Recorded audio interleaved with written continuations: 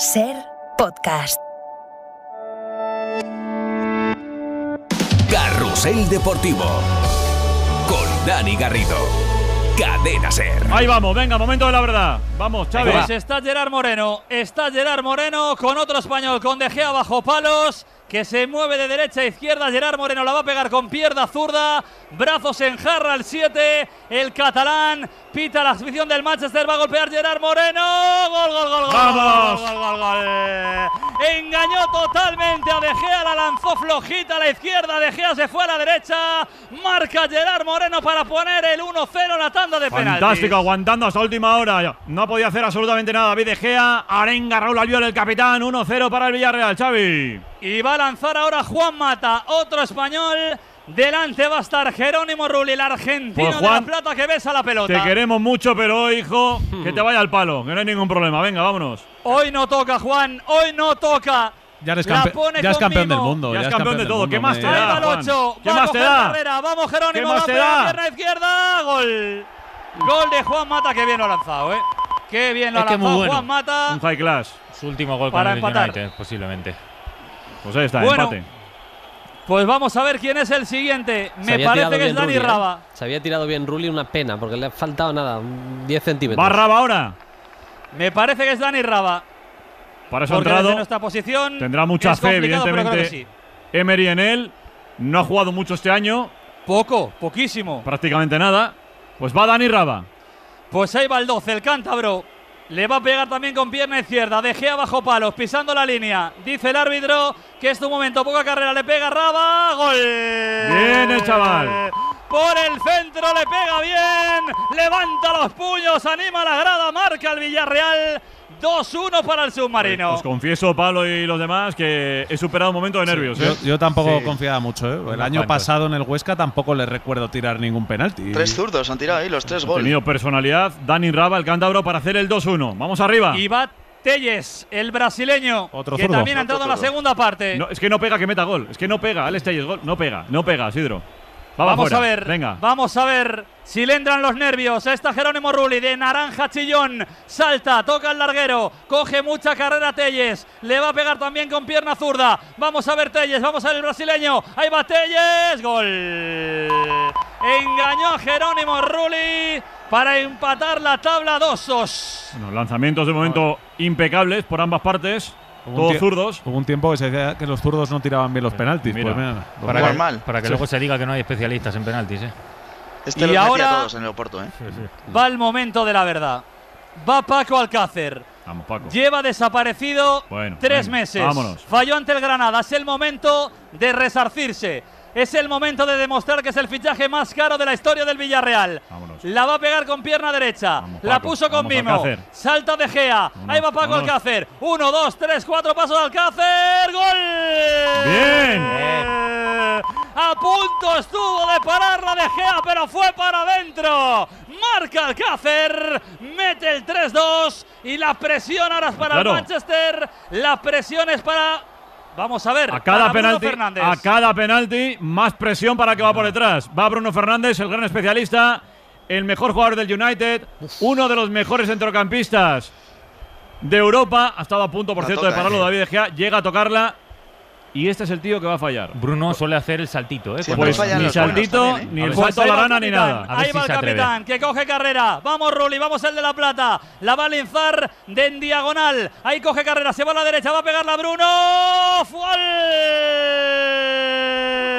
A punto ha estado de pararla Le ha faltado un dedo, pero acabó metiéndola dentro. Marca el Manchester 3-3. Parecido al anterior, de hecho. sí, al anterior. Y porque le ha pegado más fuerte no ha llegado a poder meter la mano. Bien tirado porque Jero Rulli le había adivinado. Se, ha- se lamenta y el argentino empata 3. Y no va podemos Alberto fallar, ¿eh? Moreno. Va el hombre que le ha dicho a Unai Emery en el rondo, en el corrillo que la quería lanzar. Este hombre ha ganado una Champions, ha ganado una Europa League. El sevillano la va a pegar con pierna izquierda. Vamos, Alberto. Venga, Alberto, Golpea con la izquierda. Alberto. ¡Gol! Bien. Sin fallo, venga, bien. ¡Qué bien la lanzó! Se tiró bien de Gea, la metió Alberto Moreno. 4-3 para el Villarreal. Vaya tanda, vaya Infarto tanda. esto, ¿eh? Tanda- y además bien tirada porque otra vez Muy De bien. Gea había adivinado. No llega a poder meter la mano abajo. Queda parejo, ¿no? Y Queda ahora va parejo, sí. Rashford. Ahora va Rashford y yo creo que este la va a fallar. Está tocado, no está Ojalá. bien No físicamente. está bien, no está bien. Está muerto. Ha estado a punto de cambiarlo dos veces Solskjaer. La pone también en el punto de penalti Rashford. El 10, el que dicen normalmente el que lleva ese dorsal. es Tírala el fuera, bueno. hombre. Le pega Ahí muy está fuerte. Jerónimo Rulli que mira la grada. Va Rashford. Se mete en la frontal del área. Va a coger carrera. Vamos Rashford. Tírala fuera. Vamos Jerónimo que la puedes parar. Ahí va Rashford. Se toma su tiempo. No tiene prisa. Ahora se va a un lado. Va a pegar con pierna derecha. Se para. Se para. Ahí va Rashford. Gol. Gol de Rashford para meter el Dios 4-4. mío. Y es el turno de Parejo. Dios mío, qué momento. Dani Parejo para nosotros. Veremos quién es el quinto y último lanzador. Si fuera Cavani del United, hay que hacer el trabajo. Es el momento histórico de la verdad. Dani la tiene que meter y esperar a que el United la falle y seremos campeones de la UEFA Europa League. Vamos. Qué sufrimiento, qué sufrimiento tener que ganar algo así. No queremos la amargura de un final a los penaltis. Dani Parejo vino gratis del Valencia, vino para disfrutar del fútbol, vino para meter goles como este. Vamos. Ahí va Dani Parejo. Vamos, Dani. Le va a pegar con pierna derecha. Coge carrera Dani Parejo. ¡Gol! ¡Bien! Venga.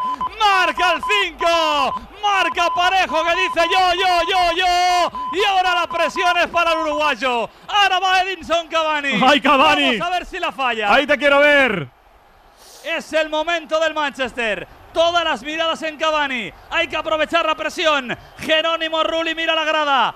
Toca el, el larguero. Se mete dentro de la portería. Aquí está, aquí está. Coge Cavani. Coge Cavani la pelota. Vamos, la Jero, pone. vamos, Jero. césped. Vamos Edinson, tírala afuera. Vamos Rulli, páralo. Ahí va Cavani. Cavani va a coger carrera. Le va a pegar con pierna derecha. Ahí va el uruguayo. Gol. Gol de Cavani. 5-5. Y vamos a ver quién es el atrevido Pleno. que va a tirar. Ahora marrón, ¿eh? Segundo Vaya turno marrón porque obviamente, obviamente el quinto tirador habitualmente suele ser un especialista, pero ahora empiezan, como dice Pablo, los marrones. ¿Puede ser Pau? O Mario Gaspar. No, no, no. Sí, ya es, son eh, defensas. me parece que es Moy Gómez. Moy Gómez. Bueno, Claro, sí, Moy, no, venga, sí, bien. No está mal, ¿eh? No está Venga. nada mal. Lo ha tirado Tiene muy bien clase el Cavani, ¿eh? alicantino. 23 a la espalda, Moy Gómez. Planta la pelota. oro ya, Uno, venga. dos, tres, cuatro pasos atrás. Ahí está De Gea. Baja Moy Gómez. ¡Gol! Bien, seis de seis. ¡Vamos, Madre Moy para adentro! Marca Moy Gómez. Impecable. Y ahora va a lanzar Fred, el brasileño. ¡Ay, Fred, que no llevas nada! No llevas nada en el Vamos campo, nada, Fred. Es el si tío, le es que pega. Es que pega bien, mira, falló Fred y título para, de Europa League para el Villar. Es que pega perfectamente. Lo para la crónica Garrido. de mañana, la crónica de mañana va a sonar así. La víctima. Con sidro de resaca, vamos. Fred. Pórtate. Moy Gómez como diciendo, toma, ahí tienes la pelota y el marrón. Ahí va Fred que la planta. Coge carrera. Vamos a ver si la pega con la izquierda. Vamos Jerónimo que está bajo palos. Ahí va Fred. La va a pegar. Se busca el espacio a la derecha. Va a golpear Fred. ¡Gol! Le ha faltado un pelo a Jerónimo. Marca Fred. Y va Raúl Albiol para el Villarreal. Esto es inédito. 6 de 6. No paran 12 una, penaltis consecutivos y además bien tirados. O son muy buenos. Además, todos bien tirados, porque aquí Jero Rulli ha estado también a punto, David. O son muy buenos los lanzadores o a los porteros les falta un poquito, ¿eh? No, no, los porteros. Es que yo creo que han tenido muy pocas opciones. Tremendo. Bueno, Raúl Albiol. El capitán, Vamos, Capi. el capo, Ha hecho un campeón partidazo, ¿eh? del mundo, dos veces campeón de Europa, Raúl Albiol, el de Vilamarchán, va a coger carrera, la va a pegar con la derecha, no es habitual en los penaltis. Vamos Raúl, tiene que ir para adentro, gol. ¡Bien! ¡Qué temple! Mamma ¡Qué mía. temple! Pero cómo le ha aguantado, wow, wow, gol de Albiol. Qué bien lo ha hecho. Guau, lo qué tenía bien. muy fijo en la cabeza. Lado de seguridad. David de Gea al otro lado. Cierra los puños el capitán Raúl Albiol. Personalidad, 7 de eh. 7 para el Villarreal. Va el séptimo lanzamiento del United. Va James, va el galés. El crío. El hombre rayo. El que entró que parecía que no iba a entrar y acabó entrando. Se va a arrugar, La va a se pegar va a con arrugar, pierna sí. derecha James. Vamos a ver si se le hace la portería No te lo crees pequeña, ni tú, pequeña. James. Ahí va. James. No puedes. carrera, le pega. Gol. Marca James. 7, 14 penaltis, ¿eh? 14 Sin penaltis. fallos. Esto es Y va ¿eh? Coquelán. Vamos, Coquelán. Venga. Va Coquelán. Qué miedo, Coquelán. para lanzar. Ya es miedo todo, ¿eh? Hace un rato. No, si ahora ya es Ya, miedo desde Pero Gerard Moreno es miedo. tres match ball, ¿no? El United. Sí, sí. Sí, Sí, sí. sí. De- desde Gerard Moreno es miedo y tensión. Francis Pues Coquelin. va Francis es tu Coquelin. momento. Sin prisa, ¿eh? Desde el centro del campo, llega al área, la pone en el punto de penalti, besa la pelota al francés, el ex del Valencia, la coloca, pisa el balón, pisa también el césped. Ahí va Coquelin, no coge tanta carrera, brazos en jarra, le pega al francés, ¡gol! ¡Bien! ¡Ocho de ¡A la ocho! misma escuadra! ¡Mamma mía! ¡Hola, la Coquelin! Vaya disparo, ¿eh? Cancelar la cena, ¿eh? Alex, baja tú a tirarlo. Baja tú por la escuadra, imparable, impecable, el mejor penalti de la tanda. Pero y le va a pegar otro que está muerto, ¿eh? Le va a pegar Luxau. El lateral ha hecho un partidazo, pero estaba muerto al final. Suena bien, suena Vamos a ver. Suena bien, ¿no? Suena ¿Dónde lo ha bien. metido, eh? Oye, la ha puesto en la 23 en la ¿eh? espalda. Madre mía, qué Se acerca al colegiado, le dice que ponga bien la pelota. Y que luego la le falle, si bueno, eso es bueno, eso es bueno. Le pone Esta nervioso al propio árbitro. Ahí va Luxau. Nada, coge un metro de carrera. Es Le va a pegar con pierna izquierda. Vamos, Jerónimo. Ahí va Lu. ¡Ay! ¡Gol! La tocó Jerónimo. La tocó, pero fue para adentro. ¡Qué pena! 8-8. Van a tirar los porteros al final. Este Qué pena. A punto de tocarla, se lamenta el Oh. argentino porque le ha tenido la mano izquierda. Una pena, iba muy tocado, es verdad. Ha podido pararlo Jero Rulli. Y atención, 16 penaltis convertidos. Habrá que mirarlo históricamente, pero creo que es inédito. Noveno turno, momento del Villarreal. Si no llega a Momento llover, yo creo que Mario la falla Gaspar. Show, ¿eh? Eso es. Para un capitán, Un 403 histórico. partidos con este en la historia, en la camiseta del Villarreal. Venga, El Mario, de todos Novelda, contigo, venga, que le va a vámonos. pegar con pierna derecha. Es tu momento, Mario. No nos falles. Está De Gea. Ahí va Mario. Se lo piensa, se lo mira. Va con pierna derecha. ¡Gol! Venga. ¡Gol Es de alucinante, es una película. ¡Gol del Villarreal! Qué guion. 9 qué de guion. 9. ¿Cómo- Tuansebe. ¿Cómo aguanta el Tuansebe. Tuansebe? Este, Esto sí, este, este sí que sí. Este no. Relajaos todos, es el momento, no os preocupéis. Ya está. Yo me voy La la bola de cristal. David, este sí. Prepara el himno. La pócima, las ancas de rana. Guión de Hitchcock. Prepara el himno, Coque, ahora, prepara el himno. Es el momento, Coque. Seguro, Tuansebe no puede meterlo. Y le coge el balón Jerónimo. Se lo quita. Al final se lo da, lo marea. Vamos, Ruli. Vamos, que viniste de la plata para esto. Desde el Montpellier. Jerónimo bajo palos. Va Tuansebe. Ahí va. Dorsal 38. Le va a pegar Tuansebe. Gol. No me la puedo creer. Esto es Nueve de Nueve, nueve. nueve. No he visto una Bueno, cosa no, en pero vida, escuchar. ¿eh? Madre mía. Ahora sí. Queda Pau, Va a ¿no? lanzar Pau Torres. Pau y luego ya Pau portero. Torres tiene que solventar esta final. Ahí va el crío Es del su pueblo. final. No he visto esto El en chavalito, final. desde los 6 años en la cantera. Entró como niño, tiene 24, es su momento, tiene que ser el ídolo. La página de la historia está diseñada para él. Va Pau Torres. Y así reacciona la grada. Sabe que es su ídolo, sabe que es su chaval, sabe que está hecho para este partido, sabe que puede ser, ojalá no, el último partido de Pau Torres que con la camiseta del Villarreal. Es increíble, ¿eh? Madre mía. 18 Pau penaltis, Torres. con- 18 penaltis convertidos. Va Pau Torres. Se prepara De Gea. Pau Torres le va a pegar con pierna izquierda. Coge cierta carrera. Ahí va. Posa la Distiquet. Va Pau Torres. ¡Gol! ¡Venga! Bien, Pau, bien. ¡Qué bien la tiró el chico! La gloria es tuya, chaval, vámonos. ¡Qué golazo de Pau Torres! 10-9 para el submarino. Qué Madre mía. Es obviamente récord Pau, de una tanda bien. de penaltis de una final europea. Récord absoluto. Les queda Lindelof a ellos, ¿no? Lindelof, el sueco. Tremendo. Y luego Ay, los Lindelof. porteros, ¿no? Y luego los porteros. Pues y luego no los porteros. Lindelof. Ya que estamos Vamos que lleguen, ya que estamos que lleguen. no, a no, no. porteros, sí, sí. No, no, Vaya, ahora vaya. falla. Vamos, Lindelof. Vamos, que No puede salvar. penalti en tu que vida no puede Suecia, salvar esto. jamás. Vamos, que no lo puede salvar. Ahí va el sueco. Ahí va Lindelof. Va el Jerónimo. Va los Jerónimo. Vamos, Jerónimo. Ahí va Lindelof. Buena, con pierna derecha. Gol. Gol de Lindelof. 10-10. Esto es increíble. Pero es que eso es surrealista por completo. Madre mía. Va a tirar de Es histórica. Van los porteros. Y después de los Madre porteros, mía. ¿qué pasa? Empiezan otra vez. No, Emery Solskjaer, creo.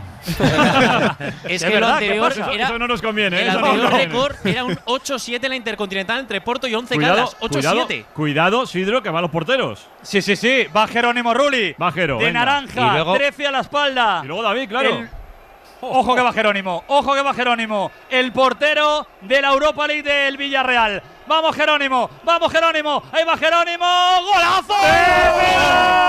¡Qué golazo de Jerónimo Rulli! la de Rulli. Que luego. de Gea. De Gea. Vaya golazo! Ahí va De Gea. Ojo, que la marca él y ahora la va a parar y va a ser el héroe, ¿eh? Oye. Ahí lo tenemos. Bueno, bueno, bueno, ¿eh? bueno. Qué bien le ha pegado. Jero Rulli. Es impresionante. ¡Que los tire todos!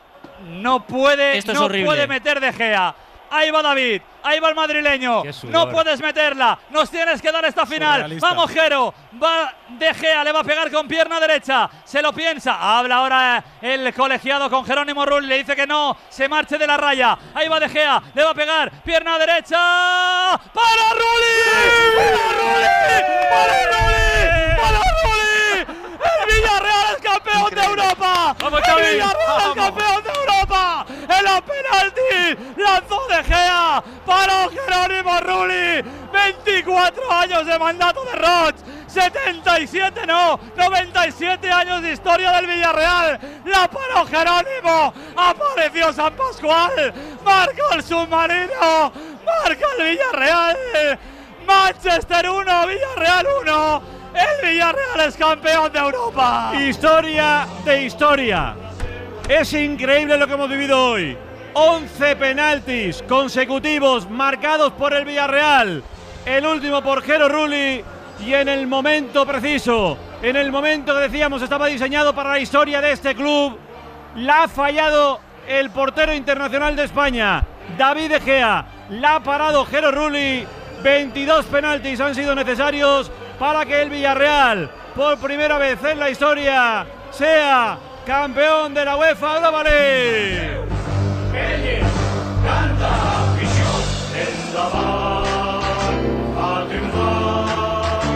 Daván Villarreal, merecidísimo, sufridísimo.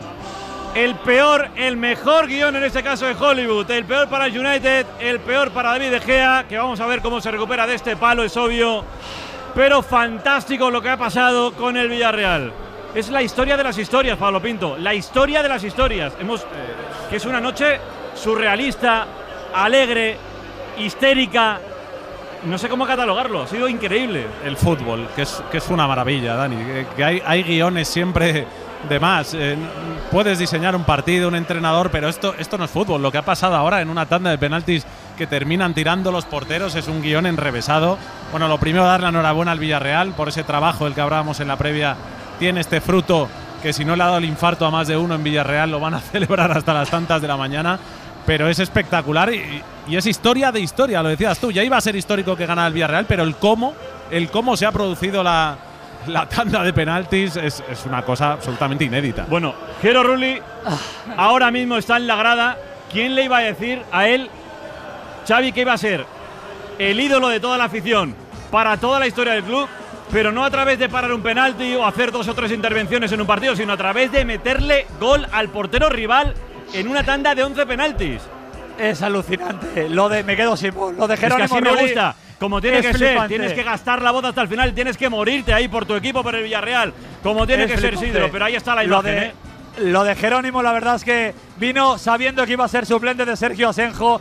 Vino criticado porque muchos pensaban durante algún tiempo que Asenjo incluso tenía que ser el portero de esta Europa League y el portero de esta final. Lo ha acabado pagando, pero creo que es el momento sobre todo de acordarse. Por un lado de Unai Emery, lo dijo el día de la presentación, quiero un título con el Villarreal. Lo que ha hecho Unai es la repanocha por no decir palabras más feas. Cinco veces ha llegado a la final, cuatro ha ganado, tres con el Sevilla, una con el Villarreal, solo falló con el Arsenal. Y luego hay que acordarse de Fernando Roch.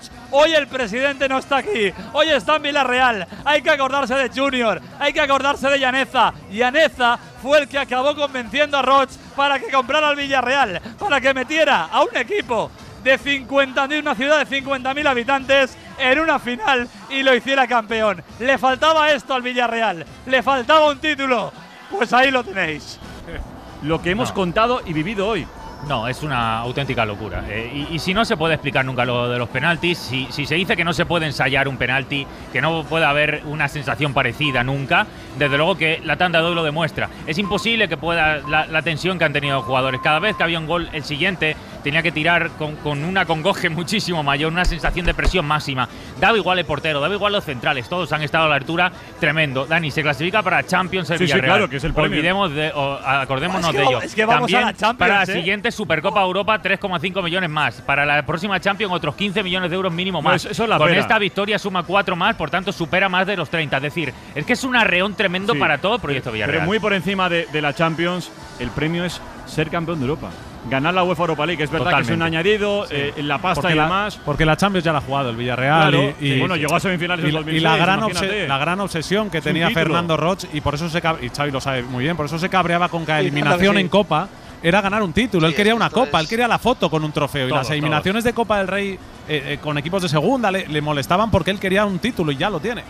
Y Bueno. un título europeo, ¿eh? que le da una Sí, sí, dimensión claro, quizá Pero es que- mayor, ¿eh? porque es que esto es eso- historia. Es que el mérito también, Aritz, es, a ver, es verdad que el Villarreal ha ido tirando los penaltis por delante del United, entonces es ir metiéndolo, soportando la presión, uno detrás de otro, uno detrás de otro. También ha tenido mérito el United de sujetarse. Lo decía pero yo en el pero primer ese, tiempo. ese guion de, de Gea, Sí, bueno, eso es de, vamos, de una no película no lo tira mal, ¿eh? No lo tira mal. Pero decía en el primer tiempo, es una final para es una sufrir. figura desafortunadamente Sí, para sí. predestinada a ese Es tipo de una cosas. final ¿eh? para, era una final para sufrir, para el Villarreal. No se le puede ganar al United de otra manera. El segundo tiempo ha sido un United muy poderoso y aún así el Villarreal ha salido vivo y bueno, ha llevado el partido donde le interesaba. Ha merecido incluso ganarlo en la prórroga y al final se lo lleva en los penaltis. A mí me recuerda un poco el, el tema del Villarreal haciendo un símil al- a lo del PC Fútbol. ¿Os acordáis de aquel claro. juego que te cogías al equipo más modesto y lo acababas haciendo campeón de, de Europa? ¿no? Pues un poco es lo que, lo que han hecho Roch y, y Es su ¿no? realidad, claro. Coger un equipo modesto de una ciudad pequeña, de divisiones inferiores y llevarla a la élite de, de España y ya de Europa. Ojo, ha, ha ganado el Villarreal la final jugando, en algún momento ha jugado Pau, Pedraza, Gaspar, Moy, Trigueros, Jeremy, Rabi- Raba, eh, absolutamente clave Miralcamp, la ciudad deportiva, la cantera del también. Villarreal. ¿Cómo? Mario, Mario también, Mario Gaspar. Sí, sí, he dicho Gaspar también. O sea, que siete jugadores, siete del- de, la cantera han jugado o bien de titulares o en algún momento han, han entrado en el terreno de juego. Absolutamente clave el trabajo de la cantera del Villarreal. Mira, ahí está Raúl Albiol, a ver si podemos escuchar al capitán del submarino amarillo. tenéis el puerto, Raúl? Bueno, pues es increíble, ¿no? Eh, Creo que es una ilusión enorme que el Villarreal, después de 23 años creo que son, consiga su primer título. Y, Que ha marcado el bueno, séptimo, por cierto. Por la afición, por el pueblo, por el club, por, por todos los compañeros. La verdad es que era un sueño que perseguíamos y, y mira, hemos sufrido porque la tanda ha sido larga, pero lo hemos conseguido. Has hecho un partido impecable, también la tanda impecable de penaltis de todos vosotros. De infantil es que no tiraba un penalti, pero bueno. ha tocado tirar y, Y tiene nada, la verdad 35. que muy felices. Eh, es increíble, ¿no? Ver a la familia aquí hoy, después de todo lo que ha pasado con la pandemia y bueno, pues es un sueño, la verdad. Raúl. ¿cómo se mantiene la sangre fría en un momento tan, tan tenso? Tira uno del, del corazón, ¿de qué tira para, para tener Pues- esa tranquilidad que habéis tenido todos? Pues ha sido increíble, ¿no? Que hayamos metido todos los penaltis. Yo creo que encima es que no ensayamos tampoco. O sea, ayer no tiramos ninguno, eh, tampoco y bueno, ha sido increíble que metiéramos todos. Eh, la verdad es que si lo llegamos a saber, pues hubiéramos firmado los penaltis antes. Piensas, ¿no? En ese pueblo, en, en la unión del equipo. Me decía ahora mismo, Dani. eh, Nuestro la- presidente que está en, casa, el pobre, la- la que no ha podido estar aquí disfrutando. la importancia que ha tenido la unión de todo el grupo, de todo el equipo y que además se ha demostrado en las imágenes en los últimos en las últimas horas, en- incluso en el día de hoy con esas charlas de Unai Emery. Es increíble, ¿no? Enfrentarse también a un gigante como es el Manchester United y, y poder ganarle y, y entrar en Champions, eh, ganar un título, es que el premio es, es muy, es muy grande. Y al final eh, también la Supercopa, o sea que al final es un triple premio que nos llevamos, que imagínate, ¿no? La, la ilusión que, que nos hace y, y nada, pues hoy a, a disfrutarlo al máximo y, y luego pues a, de vacaciones eh, felices. Gracias Raúl, enhorabuena. Ha sido fascinante. Cierra el puño izquierdo Raúl Albiol. Creo que enseguida también escucharemos a Emery. Pero Sidro, con la poca voz que te quede, que te has roto por tu equipo y por Carrusel y eres un auténtico grande, enseguida va a tener lugar la entrega de la Copa, ¿verdad? Creo que ya la han bajado. Sí, va, a ser algo sí, rápido. sí. De hecho, están ya los jugadores del Villarreal, han montado el podio. Los jugadores del Villarreal están ya buscándose reunirse en el centro del campo con Carlos Vaca con la bandera de Colombia, con las camisetas, muchos al revés, acordándose muchos también de Fernando Roch. Vaya, qué momento, ¿eh? Qué momento, mirando todos de reojo la copa. No sé quién la va a levantar, no sé si va a ser Mario, si va a ser Albiol, si va a ser Trigueros. Muchos pidieron que fuera incluso Cazorla o Bruno, que están hoy en la grada. No va a ser así, evidentemente. Pero vamos a ver, ¿eh? vamos a ver porque muchos de los que están ahí se lo merecen. Qué momento, ¿eh? Qué momento para vivirlo, qué momento para disfrutarlo, qué momento para, para romperse definitivamente y creer y tener fe en este Villarreal. ¿eh? Lo que han hecho muy grande estos chicos. Ahí baja Ceferín, escuchamos rápidamente una voz de Dani Parejo, otro de los hombres importantes. Ahí va Dani. La es que sí, eh, hemos hecho una temporada, ha sido muy larga, muy dura, muchos partidos Hoy era hacer historia, habíamos hecho llegando a la final. Bueno, qué mejor manera, después de 10, 11 penaltis, no sé, no tiene palabras. Creo que este, este equipo, cada una de estas personas que están aquí, no solo jugadores, eh, fisios, utilleros, todo el mundo, el presidente, que, por él eh, no ha podido estar. Afortunadamente a nivel de salud es lo más importante. Todos se acuerdan de Está Fernando bien. Roch y cuando tú te acuerdas tanto del jefe es, es porque lo tienes muy presente y porque sabes, sabes que él es el arquitecto y el alma mater de este Villarreal. No de este año, del No, anterior, o porque- del anterior, sino que son 25 años de trabajo. Porque muchas veces cuando se dice club familiar, no es solo porque el padre y el hijo sean los dueños, sino, literal. sino porque están ahí en el día a día, el presidente va, pregunta, se mete en el vestuario, se va a ver el entrenamiento de los alevines. Es un club familiar en todos los aspectos. Y porque últimamente cada vez que hablamos además de dueños no es nunca por buenas intenciones y aquí tenemos el efecto totalmente contrario, como un dueño se desvive por el equipo y le lleva lo máximo. Oye, esta temporada han ganado títulos el Villarreal, la Real Sociedad, el Atleti Bilbao y el Atlético de Madrid. O sea, eso habla también de que el fútbol español está vivo, más allá de Madrid-Barça, que yo creo que no atraviesan su mejor momento, pero que se repartan también los Buena lectura, títulos buena entre lectura. otros equipos me parece hasta saludable. Es un orgullo español tremendo lo de Villarreal hoy porque enchufa uno más a competiciones europeas, nos sube el ranking eh, España, mantiene el estatus No, en da buen imagen, lugar, te da te da imagen. imagen internacional, que, que estás vivo todavía, que pese a que pasen años los grandes sin títulos, ahí están los pequeños para apretar más y cada vez ser menos pequeños, así que todo positivo para el fútbol español. Sí, bueno, primero el homenaje a los, a los colegiados, a Turpen y al resto de su equipo. Hay un pasillo del submarino que es obviamente para, para el United. Y en cuestión de 3, 4 o 5 minutos se va a entregar esa copa tan bonita que tanto ha perseguido una familia. Que además es una familia, los Roch, que como sabéis de sobra, no lo tenemos que volver a explicar, es una familia entregada al deporte, no solo al fútbol, sino que prestan eh, ayudas, están muy encima al deporte de la comunidad de manera histórica. Así que hoy alcanza el cenit el proyecto del Villarreal, que seguramente tendrá muchos más pasos adelante, porque eso no va a acabar así, sino que seguirá creciendo y creciendo y creciendo y creciendo. Bueno, pues Garrido, Xavi, espera, la imagen de espera los el jugadores del. Manchester, ¿eh? está, recibiendo precioso. ahora mismo el pasillo del Villarreal, los aplausos y sobre todo la imagen de De Gea. ¿eh? Está roto, está muy tocado, va a pasar por delante de la Copa. Muchos jugadores del Villarreal le animan. Vaya palo para el madrileño. Para, para el United es más palo, eh, verdaderamente, no, no ganarla por llevarse algo esta temporada que por lo que representaba para ellos ganarlo. Pero claro, cuando ha sido un año en el que has estado a 12 puntos del City en la Premier, cuando en ningún momento se las has podido disputar, cuando en las dos copas no has llegado a, a ganarla, te queda este suplicio final de temporada que parecía que podías salvarlo de alguna manera con el título. Tampoco, Mourinho ya pasó algo parecido, pero ganó esta copa. Pues Solskjaer sigue la deriva en ese sentido del United. No, y, y además que es verdad que, hombre, eh, por cómo la pierdes, te va a hacer un daño moral importante. Por Mm. cómo la pierdes, es decir, someterte a, a la tanda más larga de la historia del fútbol en Europa oficial y palmar. Y además creo que tu portero, que tu portero lo haga. Esto necesariamente va a tener que afectar a De, a De Gea. No digo que, que- que vaya a entrar, evidentemente, en un, en un bucle negativo, pero que esto para, para Lo que David pasa que es el- un palo. Huele a traspaso, ¿eh, Dani? O sea, Bueno, eh, claro, es que si ha perdido la titularidad con Henderson, al menos en los partidos de la Premier, y acaba así, eh, yo creo que es una opción de mercado importante para el United para venderle. De todas formas, yo si fuera de Gea estaría mucho más tocado por los 11 que no has parado Claro, que, hombre, por, claro. que Sí. por el que has Sí, fallado. Es- final, lo- es una situación ane- anecdótica. Sí, sí. Sales en la foto, es, es surrealista. Totalmente, totalmente. Lo que Tu pasa- obligación es que no te metan 11. Eso Claro, es, lo que es pasa, claro, claro. lo que pasa es que la portada de mañana Claro. no va a hablar de los 11 Sí, que no sí, ha parado. pero bueno, él es tiene que saber la, que- la etiqueta de gafe, que no se termina de quitar el pobre de Gea, porque a mí me parece que es un portero con unas condiciones buenísimas, pero a la hora de la verdad siempre le pasa algo y eso pues es difícil también de gestionar. No, hay gente que tiene el imán para. Eso es. Por ejemplo, Emery. Sí. Eso es. Bueno, imán, eh, Emery es un chamán de la Europa League. Porque Manuel Carreño. Hola, Dani Garrido Ahí y tiene- compañía. Ahí tienes a Unai Emery, que estuvo hace no mucho en el larguero. Sí, señor. Charla fantástica. Cinco finales, cuatro títulos. ¿Qué ¿eh? te parecen 22 penaltis tirados? Increíble, bueno, es algo histórico. Nos estábamos tratando que, tienen, que tengan que tirar los dos porteros y, joder, el, el gafe de, de Gea, que es evidente que los estaba escuchando. Duele y que decirlo, se, se pero va a hablar sí. mucho de, de la victoria del Villarreal y mucho del gafe de uno de los porteros de la selección, claro.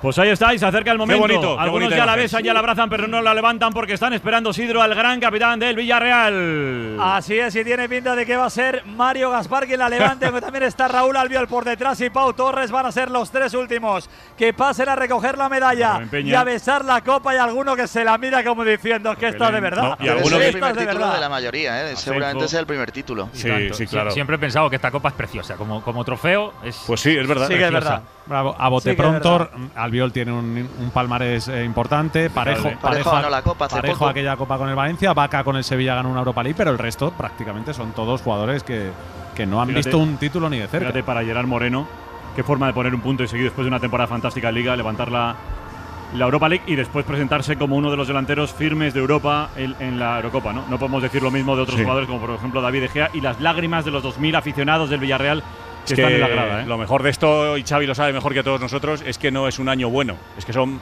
20, a- 25 años con Francisco, con Fernando Roch. Sí, señor. Y, y siempre apostando por buenos entrenadores, por buenos Pues ahí va el jugadores. momento. Ahí va. Perdón que os corte, Ahí va, porque ahí va el momento. Coge la copa Dale, Mario, la acompaña con Raúl Albiol. Se ponen para la foto. Mario y Albiol. Albiol es Mario. La copa al cielo de Dance. Campeones de Europa.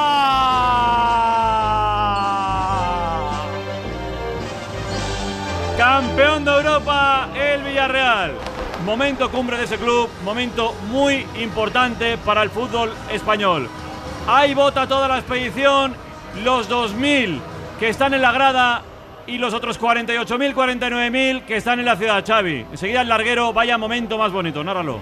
Sí, es para contarlo, ¿eh? es para contarlo. Ahí están todos los jugadores prácticamente con toda la purpurina amarilla. No se les ve abrazados a la copa. La levantan una y otra vez. Se la pasan de manos en manos. Muchos están acordando de lo que han sufrido. Aras Pau Torres, el que la levanta, este chaval se lo ha ganado. Pero fíjate el detalle. ¿eh? Mario y Albiol ya la cogen, ¿eh? Ahora la cogen es Gerard, el que se marcha y dice: Venid aquí, que esto no es solo nuestro, que esto es de la afición. Están señalando la copa como diciendo: Esto es vuestro. Se acercan a los 2.100 seguidores que están aquí, levantan la copa y lo celebra la afición del Villarreal por todo lo alto. Suscríbete a Carrusel Deportivo. Todos los episodios y contenidos adicionales en la app de Cadena Ser y en nuestros canales de Apple Podcast, Spotify, iBox, Google Podcast y YouTube.